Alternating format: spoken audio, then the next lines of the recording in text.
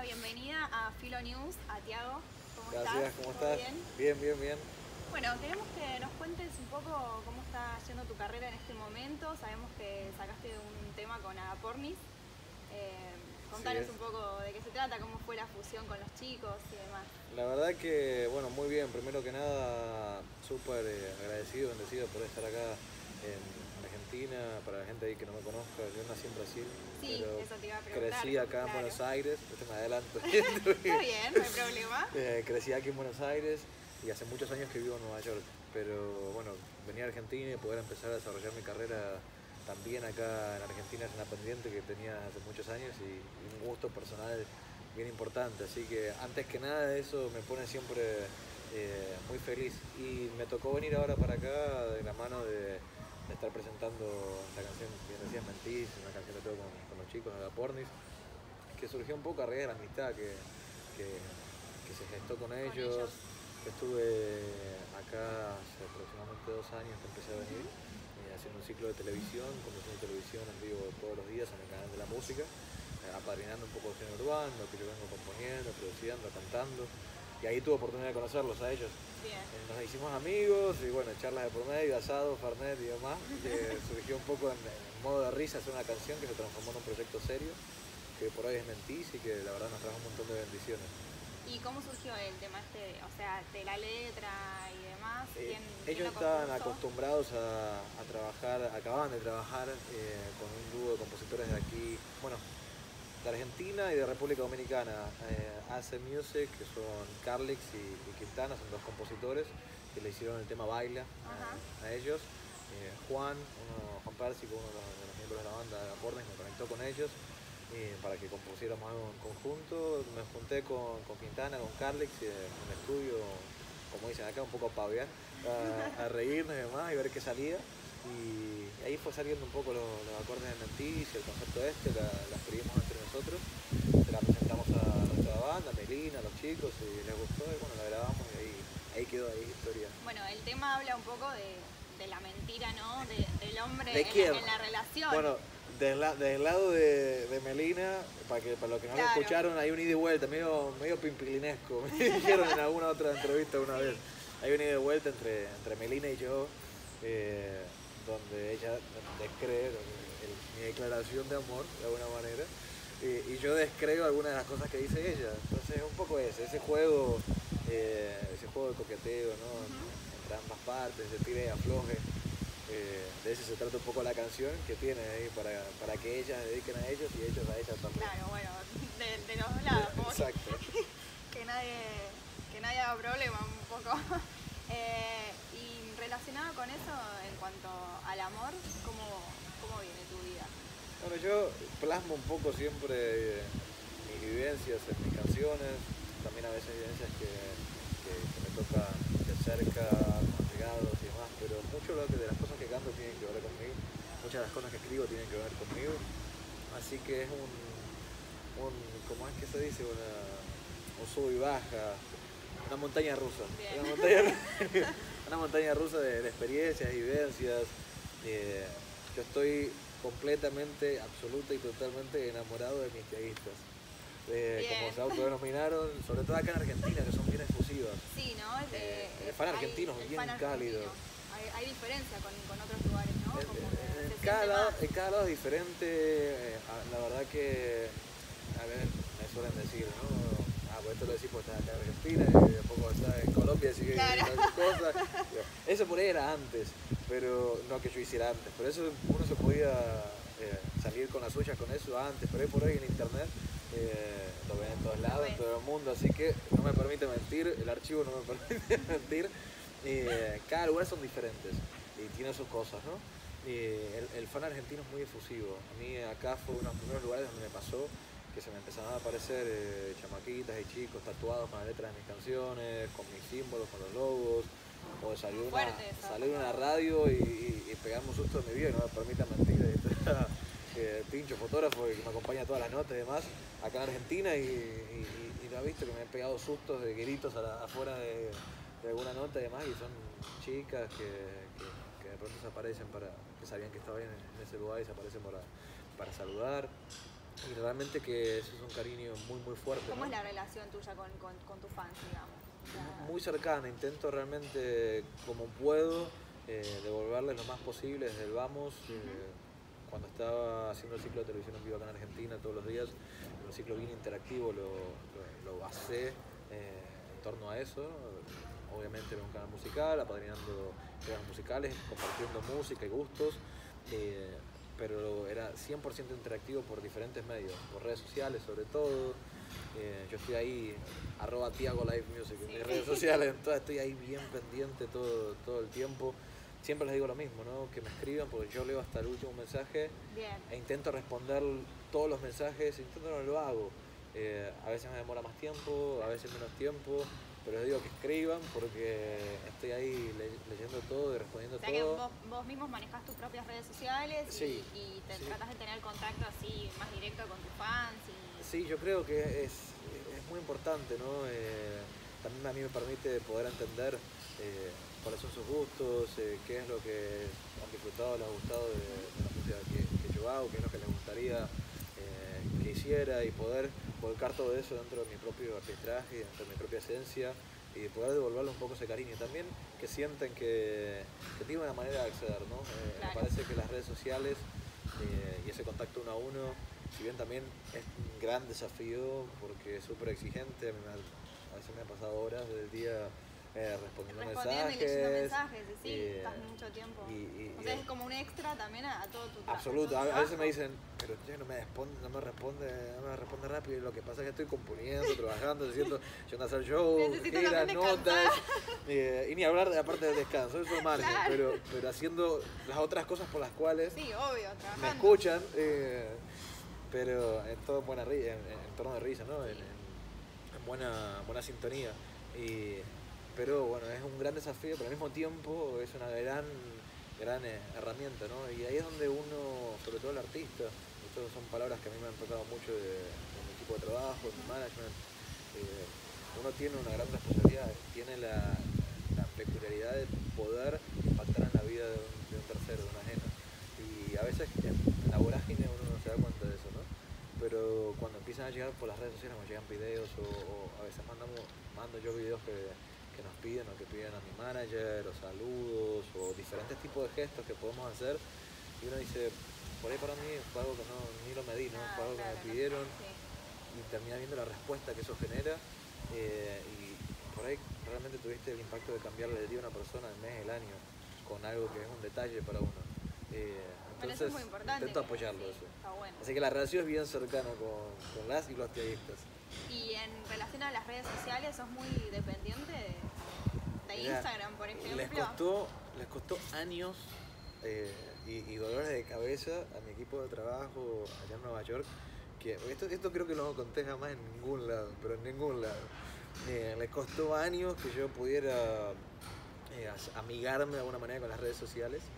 Eh, yo era un bicho de estudio, de escenario, hago, o sea, realmente lo que me, me da muchísima pasión. Eh, lo que hago, siempre lo digo, no, es lo que hago, es quien soy, me sale de esa manera. Pero siempre volcado a eso y era como que las redes sociales, además lo tenía relegado. Eh, estaba un poco porque, porque había que hacerlo, pero lo tenía relegado al punto de que, te voy a preguntarte, ¿por dónde manejas las redes sociales? Por el celular. Eh, obviamente entonces tienes un celular que sea amigable para poder manejar redes Claro, sociales. Yo hasta hace no muchos años me manejaba con, un celular que para no decir marcas y demás, pero un, celular que no podía tener Instagram, por ejemplo. Eh, y tenía aparte una, una tablet y demás donde tenía las cosas, pero yo Claro, en el día a no día no estaba un celular que me, claro. me miraban otros artistas ya o cuando estábamos en premios y demás, decía, ¿qué, qué haces con eso? te da vergüenza. Y yo no, me resulta cómodo, me gusta, puedo escribir sin mirar. mira. Eh, y bueno, hasta que lograron Medio torcerme, obligado tuviste me que... torcí el brazo y, y realmente cuando empezó este feedback y, y de vuelta, obviamente ya volcado de lleno con, con los fans, se fue dando de manera natural. Y hoy por hoy es una extensión de mi brazo que sí. Ahora me he ido para otro lado, que me dice, man, un poco. estamos- mejor que no estoy ahora hablando con usted mientras estoy respondiendo mensajitos, porque es más o menos por ahí. Si me hiciste la pregunta del otro lado de, cámara decían así, sí, sí, dependientes, sí. Y En cuanto a, a- a la hora de subir una foto, por ejemplo, ¿qué, qué tan, o sea, qué tan minucioso sos para decir, bueno, la edito, no, eh, consulto qué subo, qué no subo? Yo soy bastante, bastante dado, bastante mandado. Mira, ahí está el fotógrafo por otro lado, que pido las fotos, que pido material. Estoy, subiendo contenido todo el tiempo. Y bueno, Eh, hay que mantenerlo igual activo, Ah, ¿no? Realmente estoy, estoy con contenido todo el tiempo, a veces la vorágine no permite demasiadas vueltas de, de ponerme a pensar tanto. Sí, obviamente eh, cuento también, e intento guardar un poco, en cierta medida, mi privacidad, eh, entonces cuento un poco la parte pública del todo, pero las redes sociales se filtran o sea, en, la vida personal y tienen eso, ¿no? que también eso es lo llamativo para, para el otro lado, imagino. ¿no? Eh, de pronto po- poder ver un poco no solo Tiago artista, cantante, compositor y demás, sino la persona, porque en definitiva soy una persona común y corriente que me levanto a la mañana, que tengo sueño, que me cuesta conectar a la mañana, eh, que, que como, que me río, que hago chistes y, y ven eso también y conectan con, con ese lado. Entonces, un poco pensar un poco lo que uno publica y otras veces de manera más distendida, es, bueno, eh, vamos a mostrarle lo que estamos haciendo. Ayer, sin ir más lejos, tuve un ensayo para, para un show Ajá. y previo a entrar al ensayo estábamos tonteando con mi DJ y, y empezamos a hacer un, un- un live stream, un vivo, un directo, eh, para mostrarle un poco eso, ¿no? Totalmente desalineado, entre casa, riéndonos, con calor, eh, y mostrarle un poco que en definitiva somos personas normales. Normales, sí, obvio, Y en cuanto a vos como usuario, por ejemplo, de Instagram, no tanto como artista, eh, ¿cómo te relacionas? O sea, ¿qué, no sé, ¿qué tanto likeás? ¿Qué tan- eh, o sea, ¿cómo, ¿cómo interactúas con eso? O sea, ¿sos muy de, de usar y de, de- Sí, uso de- bastante. de tirotear por las redes, por ejemplo, con las chicas y demás? Uso ¿O bastante. te cuidas un poco? Mira, yo esto también lo mencioné varias veces, la- los fans son mejores que investigadores privados. Seguro. Mejores, yo creo que si alguna vez tienes que contratar un investigador privado, búscate un fan Un de fan algún de- artista o algo, eh, son mejores que investigadores privados. A veces se enteran cosas y descubren cosas que, que ni saben. Así que eh, esto respondiendo a, la- a tirotear por, por redes sociales y demás, no me, no me dan chance a nada. Así A que nada, cualquier no- cosa no que se no se le escapa nada. Cualquier cosa que es público ellos se enteran antes que me entere yo. Así que, pero no, uso, uso bastante las redes, estoy también ahí eh, surfeando, mirando, eh, hay mucha gente que sigo también, que veo lo que hacen, que me inspiran. eh, así que sí, soy un usuario más, yo creo que soy un... Me he transformado en, en- en un fan más de redes sociales. cambiarte. Sí. Lograron cambiarme, yo creo que sí. Bien, ahora vamos a hacerte, vamos a hacer un juego. Tenés que elegir eh, alguna de estas tarjetas por color y cada una tiene una pregunta distinta. Ok. Así que, nada. De, ¿qué- qué demandado, elijas? decir como uno de mis colores favoritos, mira. Vamos. Y se rió, me parece que elegí mal.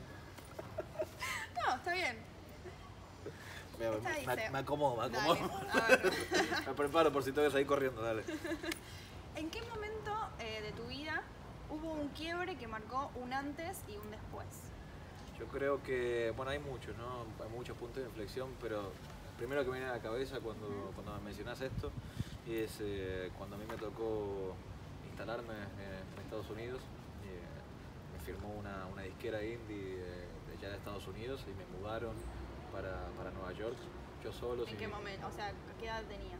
Y yo era chico, era, todavía era menor de edad, así que eh, me tocó ir sin familia para allá, solo, obviamente con un equipo de trabajo que se transformaron como una familia, eh, pero fue una experiencia fuerte, muy, muy fuerte para mí y realmente me marcó mucho a nivel profesional y, y a nivel personal también. Así que es lo primero que me viene, lo primero que me viene a la cabeza y Nueva York a mí me cambió muchísimo también.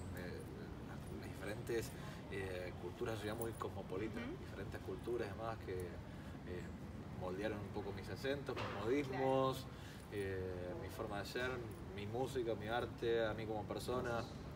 Así que sin duda ese es un enorme punto de inflexión en mi vida. ¿Y ahora hace cuánto que, que- que vivís allá? Y ya hace más de 10 años que estoy. Ah, bastante. O sea que, que bueno, fue una gran transformación. empe- empecé de chico a ir y venir, a viajar, eh, hasta que bueno, tocó, tocó instalarme sí. sí la- realmente es un punto de inflexión bien grande. Bien. Vamos con otro color. Ahora te voy más neutro, ¿no? a ver si, a ver si me baja grado. No, también se ríe, me da miedo. güey. No, yo me río por, reírme nomás, pero. ¿Qué fue lo más loco que hiciste por amor? Lo más loco que hice por amor, yo creo que eh, hace poco me deschavaron. Eh, no, lo había dicho, Ajá. no lo había dicho y hace poco me deschavaron eh, en, en- en un portal también, en una, en una nota, en una revista. Nos pusieron los títulos además y se me todos a preguntarme, ¿cómo es esto? Esto que no sabía. Dijeron, Tiago volvió a Argentina por un amor ¿Y es cierto? y tiene mucho que ver con, con la realidad. Eh, una de las razones por las cuales comencé a, a venir para Argentina hace unos años fue eh, para decir, bueno, eventualmente íbamos a venir con mi música para acá. Yo siempre mantuve relación con, con la industria, con las disqueras, con medios de televisión, vengo trabajando y componiendo música para otros artistas, para, para televisión, muchas cosas que por ahí escuchan acá y no tienen ni idea que, que soy yo el que las hace. Eh, pero no habíamos venido a desarrollar mi música o a mí como artista, mi proyecto aquí en la región todavía. Era un plan, pero no todavía, hablo años atrás, dos años atrás más o menos. Y, y bueno, conocí a, a alguien en Nueva York y dije que era de aquí de Argentina. Trabajaba aquí eh, en televisión, así que no se podía ir para allá. No podía, claro. Y dije, bueno, voy a ver si me busco una excusa para empezar a venir a Argentina más seguido, así que vine para acá, vi un poco de qué iba la cosa, eh, até algunos hilos y me vine eh, para, para ver si podía desarrollar algo y bueno, me terminé ha- haciendo base de alguna manera aquí en Argentina, quedándome bastante más, más acá. Así que es como que di una vuelta así a- a- al mundo para, bueno, por amor, de alguna Bien. manera. Yo creo que esa, hay varias locuras, ¿no? Y que muchas las cuento en mis canciones, pero de vuelta, Esa es una de las primeras que me viene a la cabeza. Y, o sea, digamos que ahora entonces tu corazón está totalmente ocupado. Mi corazón ahora está ocupado por mis tiaguistas. Voy a ser político, así. Está bien, para que nadie se enoje, ¿no? y por último, a ver, ¿qué otro color elegís? Y bueno, vamos, de- vamos con lo femenino. Bien. masculino, va. Esta apunta un poco a la memoria, al pasado. Para mañana es complicado. Para- no sé la hora que ven esto, pero estamos filmando la, como tempranito para mí. Eh, así que vamos a ver si me acuerdo de las cosas del pasado. Bueno, hay Y que si- poner a trabajar y la si- mente un Y poco. si conviene acordarme las cosas del pasado. No, igual es más apuntado a la infancia. ok. Si te tenés que transportar, por ejemplo, alrededor de cuando tenías 10 años, más Ajá. o menos, ¿qué es lo primero que se te viene a la mente? Ardeo, cuando tenía 10 años, lo primero sí, que me viene a la mente... lo, lo que más. Mi, mi familia, eh, mi familia, mis abuelos, eh, que tuve la dicha de, de- de haberlos conocido, de diferentes procedencias, siempre digo, yo soy una mezcla media rara, porque tengo un poco de sangre de cada lado, algo muy común de acá en Argentina, eh, mis abuelos eran nacidos y criados eh, en, Italia, en España, eh, entonces tengo un poco de esa, de esa cultura, tuve la, la- la bendición de haberlo conocido, disfrutado, y un poco es eso lo que, lo que me queda de esos recuerdos de, de- infancia de cada uno, de lo que cada uno me dejó y, me, y, y- sembró en mí esos momentos. Y primero que me viene a la cabeza de mi infancia Bueno, eso, esas, esas cositas que añoro, ¿no? Y las guardo, las guardo en mi corazón. Ahí me puso un poco más meloso. No, pero obvio, sí, siempre por ahí, generalmente cuando te vas a la infancia siempre lo que, lo que mayor recordás es eh, Creo que tiene que los ver más con abuelos, afecto, la familia. el afecto, Está lo bueno eso. Eh, realmente, siempre lo digo, ¿no? Uno, o del otro lado la gente ve eh, el brillo, lo bonito, arriba del escenario, las luces, eh, la carrera también artística, no por hacer eh, melodrama ni nada, porque realmente es una bendición la de poder hacer lo que uno ama, o dedicarse a lo que uno ama, pero también tiene sus lados sacrificados y sus sacrificios, ¿no? Como te decía, desde muy pequeño me tocó irme a vivir a otro país, Claro. tengo hermanos, tengo sobrinos, muchos me... ¿Y tu familia dónde está? ¿Acá? en Mayormente, mayormente están, están acá en Argentina. Me tocó muchas veces perderme en un montón de momentos. Algo que me impactó mucho en algún momento, que es una tontera, es un detalle, pero haber venido a- al país de pronto y que mis sobrinos más chicos no me conozcan. Claro. No, no me, no me reconozcan, que, que mis hermanos tengan que explicarlos. Es tu tío, eh, el que ves por el, por el videíto, el que ves por la tele. eh, entonces, cosas de ese estilo, o, o abuelos y demás que, que partieron y que ya no están terrenalmente, físicamente conmigo. Y, haber poder, poder disfrutar más momentos, ese tipo de cosas, ¿no? Entonces tiendo a guardar esos momentos, ¿no? Esos momentos eh, de afectos y, y bueno, también es una enseñanza, ¿no? De, de disfrutar. Por eso disfruto mucho cada vez que vengo para Argentina y estoy contento de poder empezar a desarrollar cosas aquí también, que me da una excusa para venir más seguido. Y en cuanto a este amor por la música que también mencionás, ¿de ¿cuándo fue que surgió realmente? Yo creo que toda mi vida eh, me cuesta un poco ahí poder hacer, buscar un, un punto de inflexión donde diga, "Bueno, este fue el momento donde me decidí a, a perseguir esto de esta manera. Yo empecé cuando tenía nueve años, eh, dibuja- dibujaba, dibujando caricaturas en televisión acá en Argentina, con un caricaturista llamó- se llamaba, se llama, perdón, se llama. Luis Ordóñez, Luis, perdóname, eh, se llama Luis Ordóñez y me llevaba a televisión a dibujar caricaturas y actuaba, entonces eso me ligó un poco al mundo del entretenimiento, televisión, del teatro. La música fue una constante siempre, o escribía, o la escuchaba, o la cantaba, eh, y en algún punto se, ter- se terminó transformando como en el proyecto principal, porque encontré en la música ambiente en donde volcar todo, ¿no? Bien. toda la- todos los aspectos creativos, desde lo visual, desde la puesta en escena del escenario, la impronta, de, de poder de, de cantar, de dar un show, de contar historias, de componer, de hacer música, de disfrutarlo, de los ritmos. Encontré cómo volcar todo ahí y bueno, eventualmente como que se apoderó de, de todo mi universo. Y digamos entonces te pregunto como para ir cerrando, eh, digamos que puedes decir que pudiste cumplir tu sueño o que realmente lo estás, o sea, estás viviendo eh, realmente el Absolutamente. sueño, tu sueño. Absolutamente, es un, un camino, ¿no? Día a día, son diferentes metas, eh, he vivido cosas que en algún momento de mi vida soñaba, he vivido cosas que en algún momento de mi vida ni siquiera soñé, Bien. me ha tocado, Que te sorprendieron me ha tocado vivir cosas que decía, que, que jamás me imaginé ni siquiera como, como un posible, y por eso siempre que es un mensaje que también intento dejar, ¿no? Es, eh, no, hay, no hay sueño demasiado grande, ¿no? Y, y realmente para, para soñar y para apuntar, apunta, apunta lo más alto, Alto. Que, que te puedes imaginar y que, te, que ni te imagines, eh, porque ese, ese es el horizonte, el horizonte de uno. Absolutamente estoy viviendo algo día a día, ¿no? Yo tengo una manera de ser que tiene sus cosas positivas y sus cosas a veces no tan positivas, eh, que, que siempre estoy mirando un poco más allá.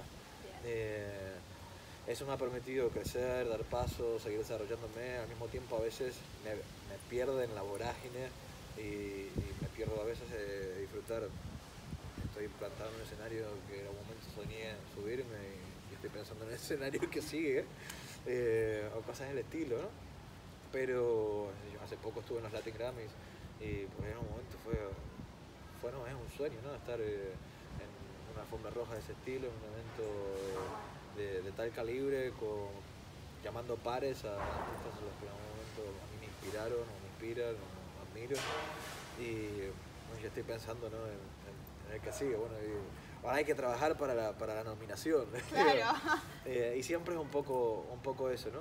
Así que como mensaje es, también es tener esa, esa visión, aspirar alto, tener sueños en grande, pero también con los pies en la tierra para poder disfrutar el día a día y lo que uno está viviendo, viviendo en el momento. Eh, así que sí, viviendo, en resumen, viviendo mi sueño y construyendo y haciéndolo crecer. Bárbaro, entonces nos despedimos con ese mensaje de que hay que soñar bien alto porque siempre se, se cumple. ¿no? Exactamente. Bueno, te agradecemos mucho, Tiago, por haber venido. Muchísimas y gracias a muchos ustedes. éxitos en todo lo que te propongas. Muchas gracias.